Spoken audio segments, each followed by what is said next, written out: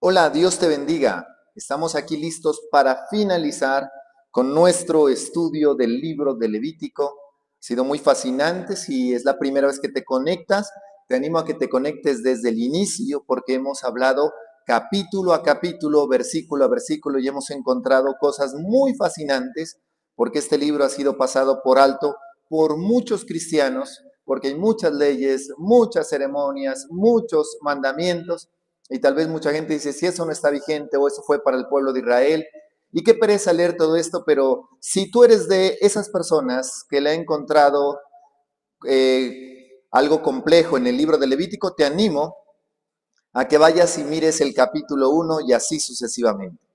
Pero vamos a estudiar Levítico 27, finalizamos hoy con esta lectura y seguiremos los próximos días con números hasta terminar toda la Biblia.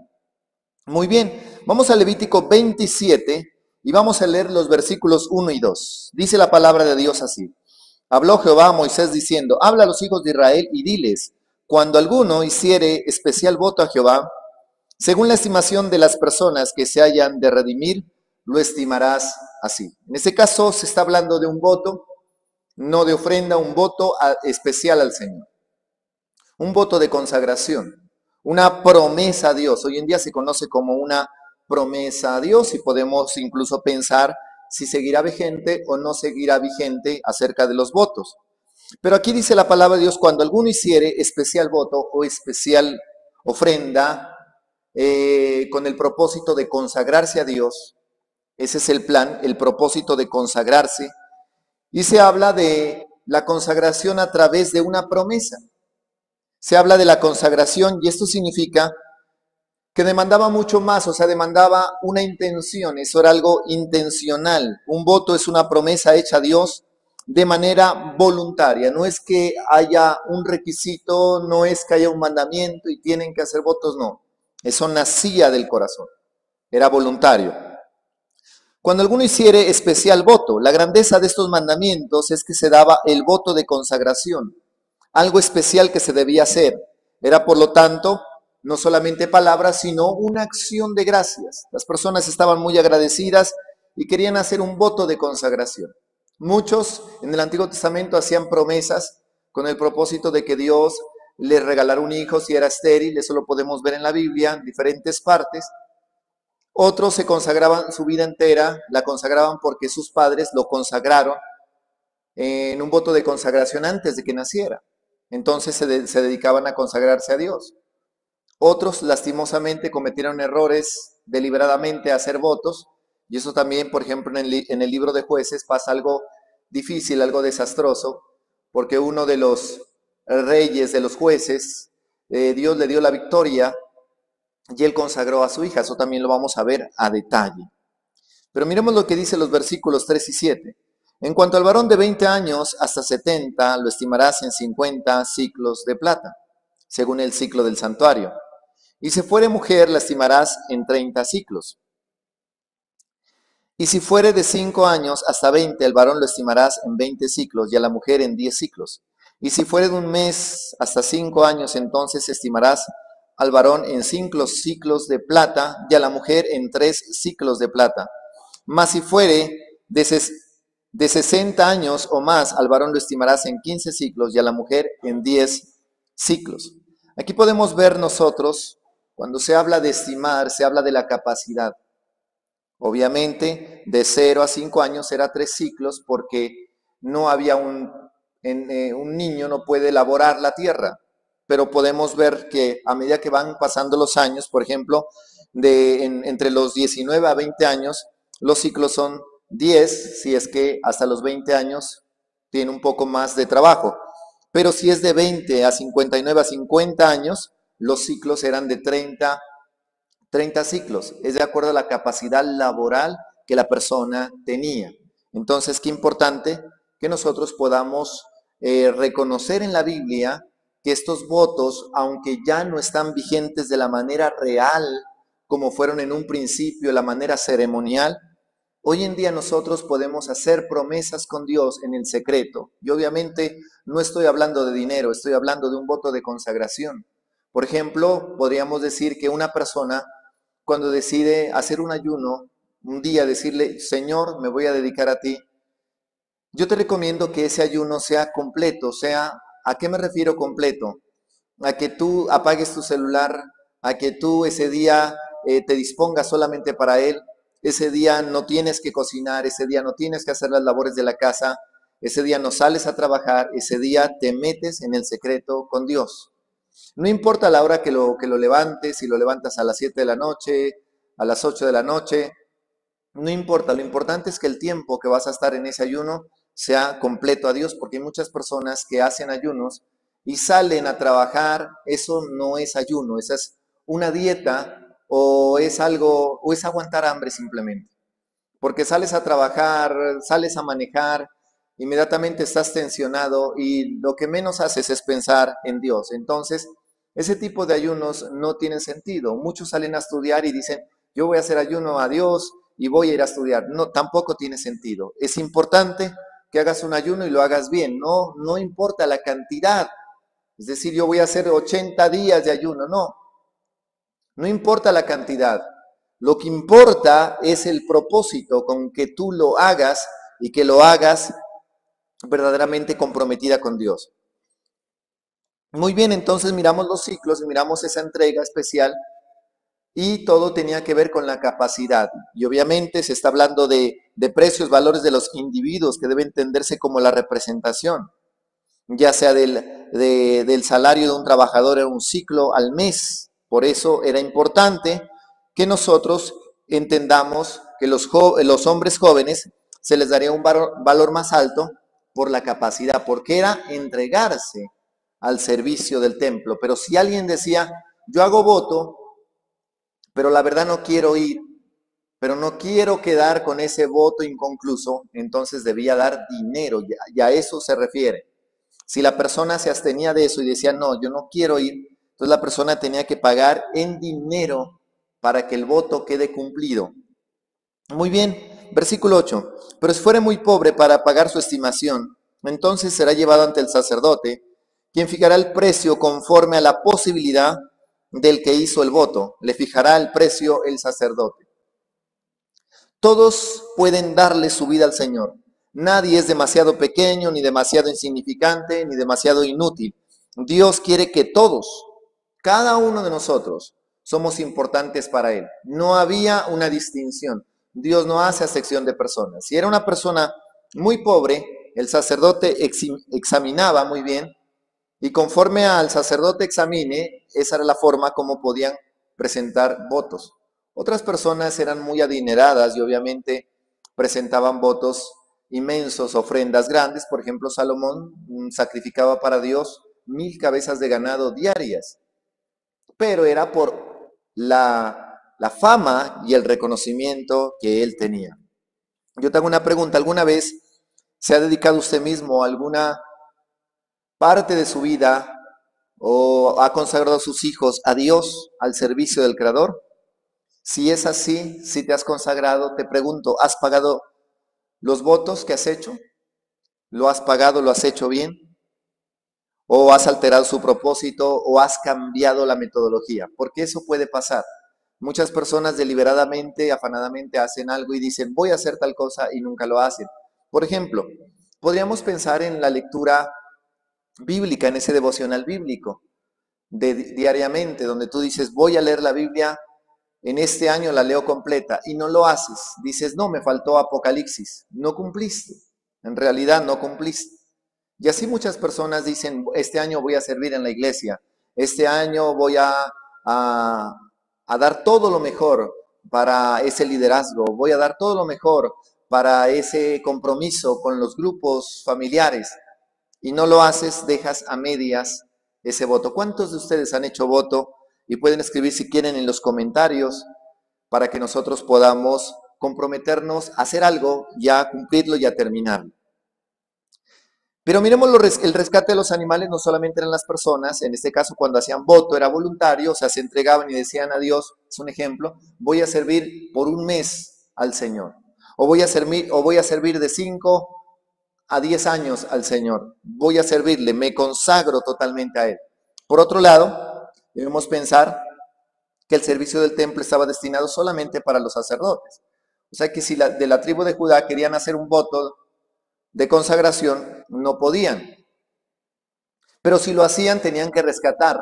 Entonces decían, yo quiero entregarme a Dios cinco años. Entonces el sacerdote, conforme a la ley y conforme a la medida y conforme a la capacidad, le decía, esto vale su servicio de cinco años. O sea, él pagaba y era como si él estuviera sirviendo, aunque obviamente de la tribu de Judá no podían hacerlo. Recuerde que venimos hablando que la tribu de Leví y obviamente el sacerdocio de Aarón y los descendientes de él podían estar en el servicio del templo. Es importante entenderlo. Pero si habían personas que eran de otra tribu, de la tribu de Isaacar, por ejemplo, y decía, yo quiero entregar a mi hijo, como él no podía hacerlo, debía pagar por eso, debía decir, aquí está el dinero. Y es como si el hijo, aunque no era de, tu tribu, de otra tribu, de la tribu de Levi, estuviera sirviendo. Muy bien, versículos 9 y 13. Si fuera animal de los que ofrece ofrenda a Jehová, todo lo que de los tales se diera Jehová será santo, no será cambiado ni troncado, bueno o malo, ni malo por bueno. Y si se permutara el animal por otro, él y el dado en cambio de él serán sagrados si fuere algún animal inmundo de, no, de que no se ofrece ofrenda a Jehová, entonces el animal será puesto delante del sacerdote y el sacerdote lo valorará, sea bueno o sea malo, conforme a la estimación del sacerdote, así será. Y si lo quisiere rescatar, añadirá sobre su valuación la quinta parte. En este caso ya son animales. Los animales tenían que ser examinados ya es un voto, dice, no, yo tengo un animalito, lo quiero presentar al Señor. Yo quiero presentar, esto es voluntario. Y entonces el sacerdote lo examinaba. Si era un animal limpio, era apto para el sacrificio. Y si las personas lo querían rescatar, tal vez porque el animal era especialmente útil, era un buey y era útil eh, para llevar, para hacer, para arar, era muy útil, entonces lo rescataban y podía cambiarse por otro animal. Lo podían cambiar, siempre que ese animal también fuera limpio y adecuado para el sacrificio. Entonces, es importante entender eso.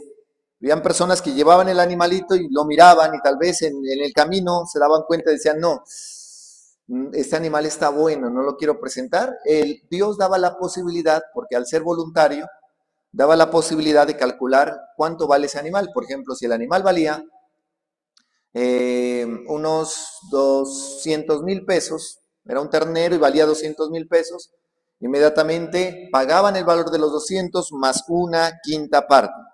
Y si fuera animal inmundo, porque estaba la otra parte también, si un animal era inmundo, o sea, no apto para el sacrificio, por ejemplo, un conejo, decían, no, yo quiero entregar este conejo, no apto para el sacrificio, podía ser consagrado al Señor mediante un voto y luego se lo podía rescatar. O sea, ese animal lo presento, ¿cuánto vale? Vale tanto y tenían que rescatarlo. Por ejemplo, un caballo.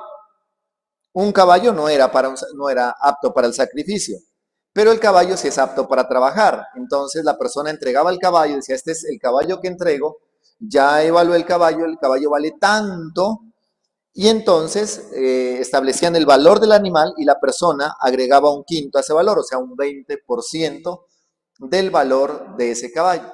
Entonces, muy fácil, por ejemplo, si el caballo valía un millón de pesos, eh, vale un millón, pero como usted lo va a rescatar, tiene que dar un millón doscientos en total y le daba el total al tesoro del tabernáculo. Eso era la forma de hacer los votos. Muy bien, versículos 14 y 15. Cuando alguno dedicare su casa consagrándola a Jehová, la valorará el sacerdote, sea buena o sea mala, según la valorar el sacerdote, así quedará. Mas si el que dedicó su casa deseare rescatarla, añadirá a su valuación la quinta parte del valor de ella y será suya. Esto era voluntario, no había un mandamiento. Ponga mucho cuidado, no había un mandamiento porque muchas personas malinterpretan Incluso muchos se aprovechan también de esto. Esto es voluntario. Alguien decía, yo quiero entregar mi casa para que sea un lugar de, alabanza, de oración.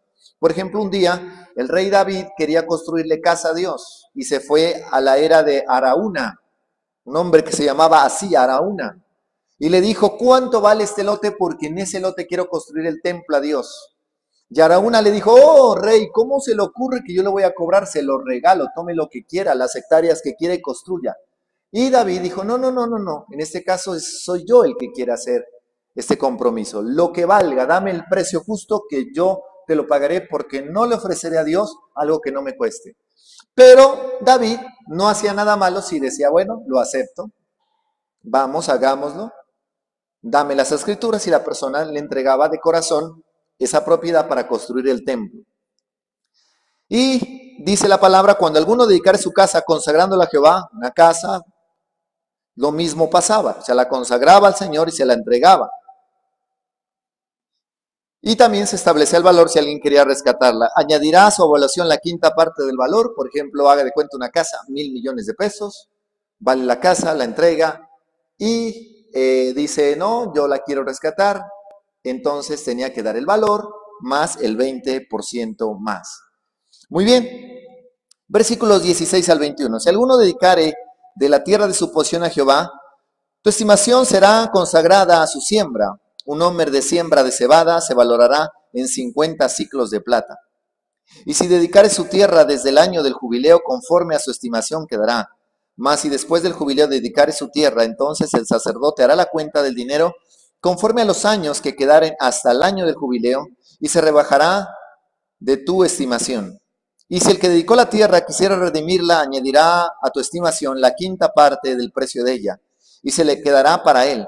Mas si él no rescatare la tierra y la tierra se vendiera a otro, no la rescatará más, sino que cuando saliere en el jubileo la tierra será santa para Jehová, como tierra consagrada, la posesión de ella será del sacerdote. Vemos aquí algo ya más fuerte, y es que está hablando de la tierra y está hablando del jubileo, y esto también lo hemos explicado. De acuerdo al jubileo, recuerde que las cosas duraban mientras el jubileo, por ejemplo, alguien compraba una propiedad y faltaban 20 años para el jubileo, calculaba el precio de acuerdo a los 20 años que faltaba porque las cosas volvían a su dueño anterior. Y el jubileo era cada 50 años. Si alguien compraba algo, por ejemplo, faltando 50 años, apenas se acabó el jubileo y comienza el nuevo jubileo, comienza el primer mes del nuevo jubileo y falta mucho tiempo, obviamente el precio era altísimo. Pero si faltaban dos años para terminar el jubileo, para, para finalizar para ser año de jubileo, entonces su precio era totalmente bajo, porque solamente disfrutaban por dos años esa propiedad. Lo mismo también en cuanto a los votos. Los votos también subían o bajaban de precio de acuerdo al jubileo que faltaba. En este caso, cuando se entregaban tierras, no cuando se entregaban animales. Cuando se entregaban tierra, cuando se entregaban propiedades como voto, el sacerdote calculaba el precio de acuerdo a cuánto tiempo faltaba para el año de jubileo. Si faltaban dos años, obviamente el precio bajaba totalmente. Eso es importante verlo. El año del jubileo es muy importante y eso lo tenemos también ahí. Búscalo en nuestro canal, ahí tenemos la explicación del año del jubileo detalladamente. Versículos 22 y 25.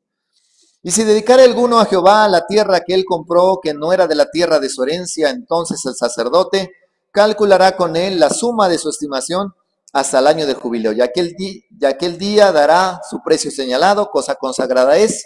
En el año de jubileo volverá la tierra aquel a quien la compró, cuya es la herencia de la tierra, y todo lo que valorares será conforme al ciclo del santuario. El ciclo tiene 20 jeras. Lo mismo, si alguien dedicara a Jehová la tierra que compró, que no era de su herencia, se dice, bueno, yo acabo de comprar esta casa, se la compré a tal persona, eh, faltaban 10 años para el jubileo y la voy a disfrutar 10 años, pero en esos 10 años, en medio de esos 10 años que faltan, él compró una casa por 10 años, porque en el año del jubileo tienen que volver las cosas a sus dueños originales. Entonces él compra la casa, la va a disfrutar 10 años, pero en, el quinto año decide decir, decide entregarle esa casa por pacto y dice, le entrego este, este voto, quiero hacer voto de consagración, entrego esta propiedad. Obviamente faltan cinco años. Entonces el sacerdote recibe esto como voto y ¿qué hace? El sacerdote cuando termine, cuando eh, acabe el año de jubileo, inmediatamente vuelve a la persona de quien él la consagró. Volverá normalmente. las casas que eran propiedades de él y propiedad de él y no tenían dueños originales, eran propios, los dueños eran únicos dueños, o sea, no eran dos ni tres, sino único dueño, esa casa en el año del jubileo quedaba para siempre, o sea, no se devolvía. Esa casa quedaba para siempre y se convertía en una propiedad de la familia sacerdotal. Pero si la casa tenía un dueño anterior, esa casa, cuando sea el año del jubileo, tenía que volver a su dueño original, así esté hecho voto de consagración. Esto es importante, mire cómo la Biblia es respeta todas las leyes, todas las ceremonias, respeta todos los mandamientos, todo lo establecido, la Biblia mismo, o sea, Dios mismo respeta todo eso. Versículos 26 y 27. Pero el primogénito de los animales, que por primogenitura es de Jehová, o sea, todos los animales, sea inmundo, sea puro, todos, todos, todos. Obviamente los inmundos no se llevan a sacrificio, sino que la persona, cuando tenía un cerdo, el cerdo no se lo puede sacrificar, entonces calculaba el valor. ¿Cuánto vale ese cerdo? Vale tanto. Listo, tome, el dinero. Y eso lo llevaban al tabernáculo o era para el templo. Eso es importante. Esas leyes se cumplieron al pie de la letra cuando ellos entraron a la tierra prometida. Ahí es donde comenzaron a cumplirse todas estas leyes. Por eso dice el tesoro del templo, y todavía templo no había. Nadie lo dedicará, sea buey, sea oveja, de Jehová es. Mas si fuere de los animales inmundos, lo rescatarán conforme a su estimación, y añadirán sobre la quinta parte de su precio, y si no lo rescataren, se venderá conforme a su estimación. Entonces, como te acabo de decir, si fuera buey oveja y dijeran, no, lo que pasa es que yo lo voy a dedicar, eh, nació de primero, no, esos eran del Señor. Eso no se dedicaba porque eso no le corresponde. O sea, las personas podían hacer voto con las cosas que le corresponden a ellos. Por ejemplo, los primogénitos, cualquier primogénito eh, era de Dios. Cualquier primogénito que naciera no era del dueño, era de Dios. Dios era el dueño de los primogénitos, tanto de hijos varones como de machos en los, en los, en los animales, eran de él.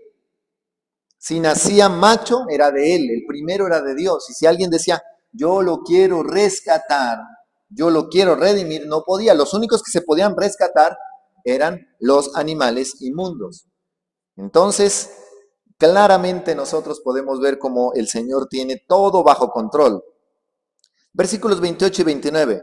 Pero no se venderá ni se rescatará ninguna cosa consagrada que alguno hubiera dedicado a Jehová de todo lo que tuviere de hombres y animales y de las tierras de su posición, todo lo consagrado será cosa santísima a Jehová. Ninguna persona separada como anatema podrá ser rescatada y definitivamente ha de ser muerta. Mira, aquí nosotros vemos, y es que habían personas por ejemplo, el rey Saúl cometió un error, eso lo vamos a ver a detalle, porque el rey Saúl tenía que ir a destruir, él tenía que ir a acabar con, con los amalecitas. Los amalecitas era un pueblo que el Señor dijo, vayan y acaben con todo. ¿Y qué hizo el rey Saúl? El rey Saúl llegó y destruyó todo, pero dejó con vida algunas personas, y no solamente eso, sino que miró que habían unas vacas bien gorditas, Miro que habían unas ovejas también en buen estado. Y él llegó y dijo, esto lo voy a presentar al Señor. Y llevó eso. Y eso le causó que perdiera su reinado y que su reinado no se propague a las próximas generaciones. Porque ahí fue donde Dios dijo, se complace más Dios en la obediencia que en los mismos sacrificios. Aquí nosotros vemos el cumplimiento de eso. Ninguna persona separada como anatema, como maldición, podría ser rescatada.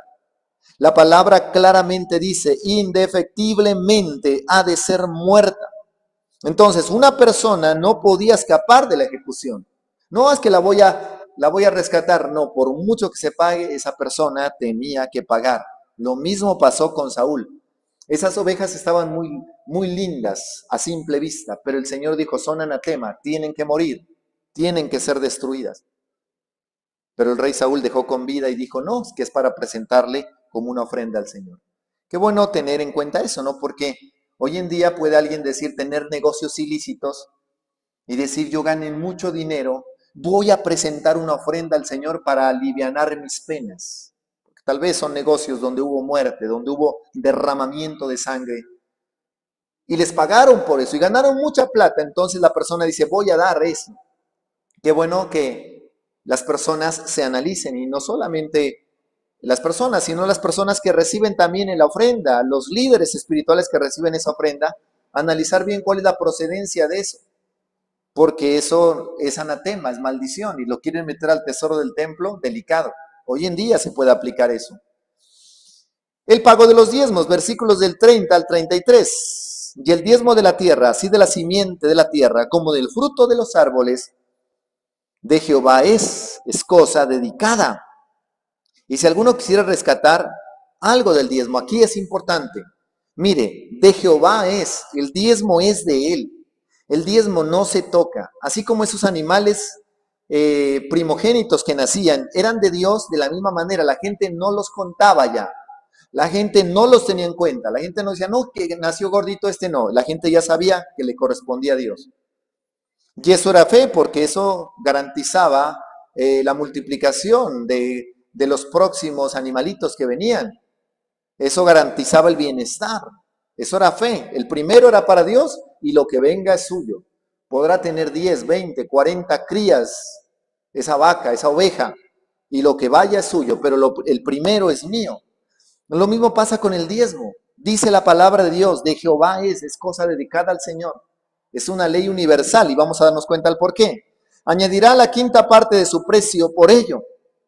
Y todo diezmo de vacas o de ovejas, de todo lo que pasa bajo la vara, el diezmo será consagrado a Jehová.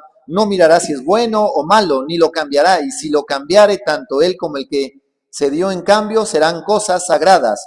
No podrán ser rescatadas. Se lo voy a explicar de esta manera. Las personas antes de entregar su diezmo, decir, bueno, yo, el Señor me dio, me dio 10 vacas, le voy a entregar una al Señor, porque la mayoría en ese tiempo eran agricultores. Hoy en día salen personas haciendo explicaciones que el diezmo era grano. Claro, en ese tiempo era grano, en ese tiempo eran animales, pero hoy en día la agricultura ya no se da como se daba en ese tiempo. En ese tiempo todos eran agricultores todo mundo trabajaba en el campo, y más cuando entraron a la tierra prometida. Y lo que hacían era cambiar. Por ejemplo, alguien compraba algo y cambiaba. No sé si alguno escuchó, aquí en Colombia se llamaba el cambalache, donde la gente ofrecía una gallina y le entregaban tal vez un bulto de papas. Esa era la forma como la gente trabajaba, como la gente comercializaba. La gente sacaba sus productos a una plaza grande y la mayoría llevaba algo como cambiar. Entonces el dinero en efectivo no era muy común como hoy en día. Hoy en día usted hace una transferencia, hoy en día usted eh, tiene dinero digital, billeteras digitales, pero en ese tiempo era diferente. Entonces, las cosas no han cambiado. El diezmo sigue siendo de Dios, pero la forma sí ha cambiado. ¿Por qué? Porque si tú no eres agricultor, no por eso vas a decir, yo no diezmo, porque como yo no trabajo en la agricultura, pero si comes, si comes, si te alimentas, si compras ropa, si recibes un salario, salario, si recibes dinero. Entonces, qué importante ver que en ese tiempo sí se entregaba grano porque trabajaban en la agricultura, pero tú no eres agricultor, yo no soy agricultor, y por eso voy a dejar de diezmar, claro que no porque se debe seguir haciendo. La forma es diferente, pero el sentido sigue siendo el mismo. Cuando yo entrego dinero, entrego trabajo. Cuando yo entrego dinero, entrego sudor. Cuando yo entrego dinero, entrego esfuerzo. Estoy entregando, estoy honrando a Dios. Es de Dios. Porque muchos salen con eso, no, es que se entregaban. Eso es muy normal decirlo. Es muy normal decir, no, es que se entregaban y por eso no lo hago. No, porque nosotros comemos. El hecho de que hayamos dejado de ser agricultores no quiere decir que, nos, que ya no comemos. Nosotros también comemos, nosotros también tenemos hambre, nosotros también necesitamos dinero, necesitamos recursos.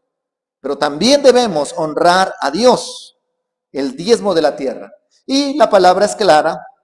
En ese tiempo, si alguien quería rescatar antes de que pasen por la vara, la vara del pastor era una vara para medir el animal después de que ellos pasaban esa vara, después de que ellos pasaran es, ese, ese momento, o sea, sean aprobados, ellos ya no podían rescatarlo, no podían rescatarlo, ya era del Señor.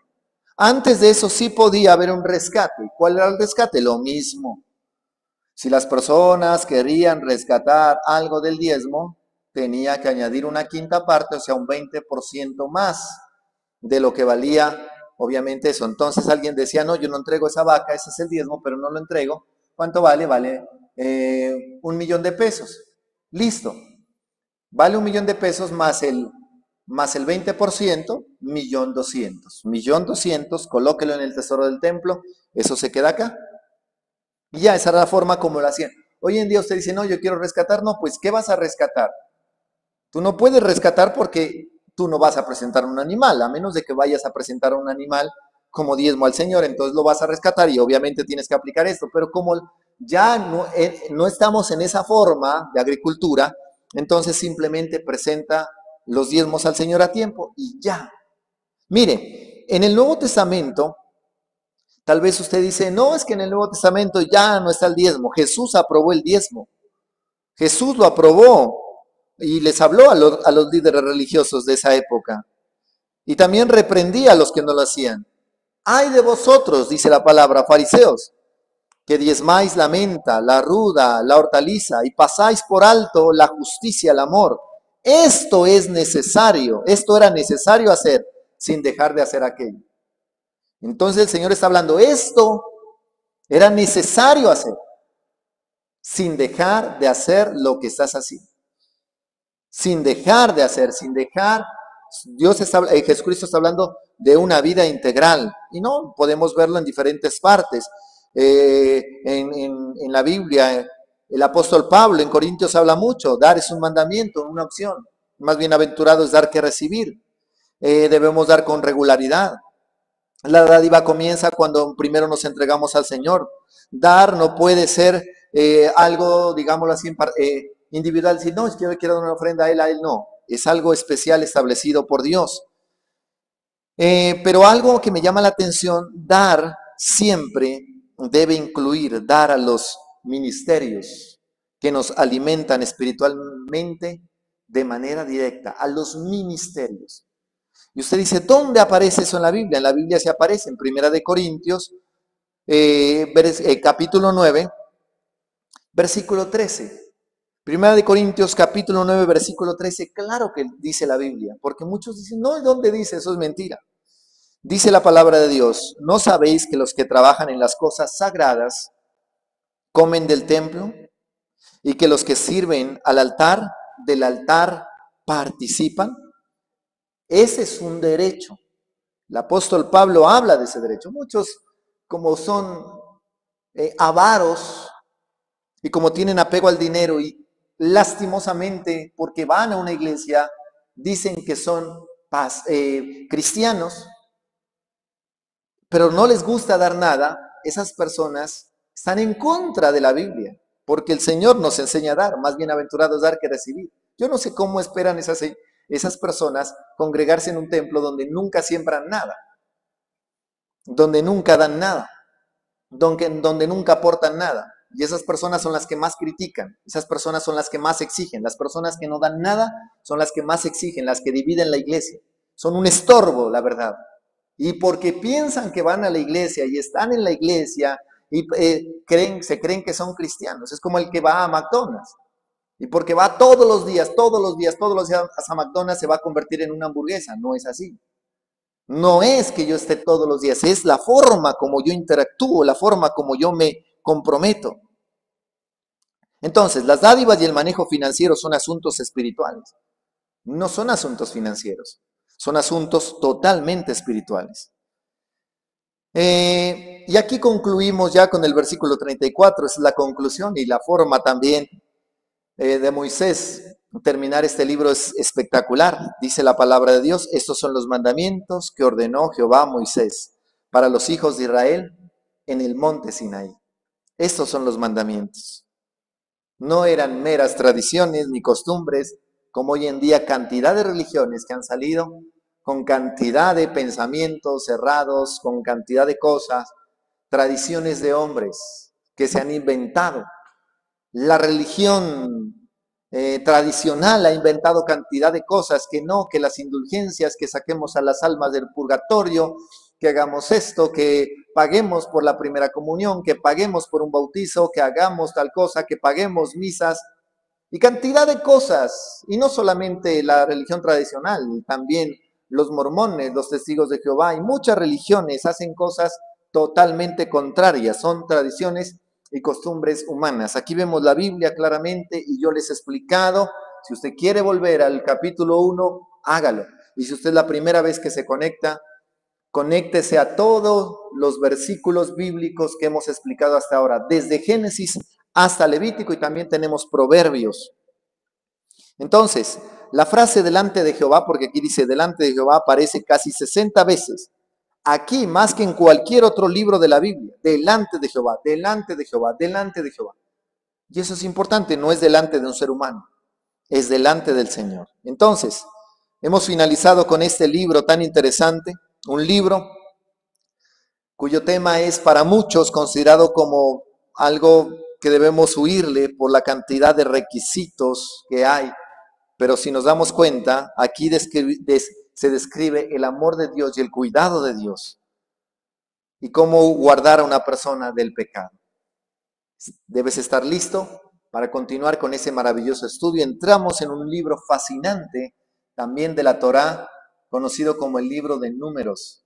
Ese libro es espectacular, tiene historias que atrapan verdaderamente a la audiencia y de ahí vamos a hablar mucho. También hay misterios, misterios que muchos han tergiversado y lo vamos a explicar a la luz de la palabra de Dios.